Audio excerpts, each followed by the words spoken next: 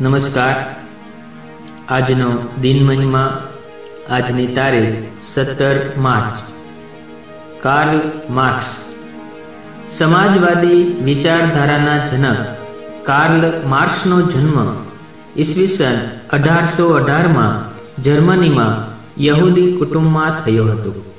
વિદ્યાર્થી અવસ્થામાં જ તેમણે ધન સંપત્તિનો ઉપહાસ કરી માતા પિતાની આશા ઉપર પાણી ફેરવી દીધેલું. પીએચડી થવા છતાં આક્રમક વિચારધારાને કારણે તેમને પ્રાધ્યાપક પદ ન મળ્યું.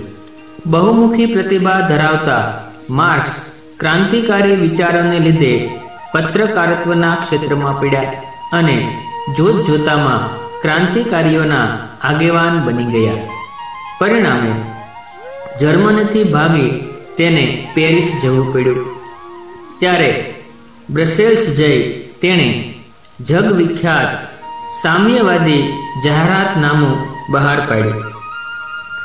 તેમનો જીવનના મહાકાર્ય સમૂહ દાસ કેપિટલ ગ્રંથ વિશ્વમાંના મહાન ગ્રંથોમાંનો એક ગણાય છે. સામ્યવાદના મૂળ સ્થાપક અને વિશ્વ સમક્ષ પોતાની વિચારધારાનો પ્રભાવ મૂકી જનાર વિરલ વ્યક્તિઓમાંના એક કાર્લ માર્ક્સ હતા.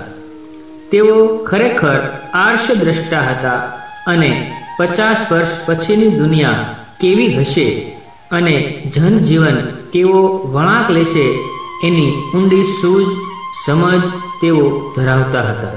પરંતુ કદરહીન લોક સમુદાયે કાર્લ માર્ક્સની ઉપેક્ષા કરી.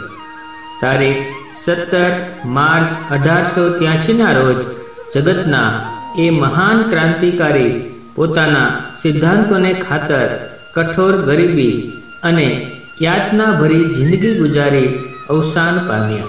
તેમના મૃત્યુ બાદ તેમના અનુયાયોની સંખ્યા એટલી બધી વધી ગઈ કે કાર્લ માર્ક્સ સામ્યવાદના જનક તરીકે પૂજાયા.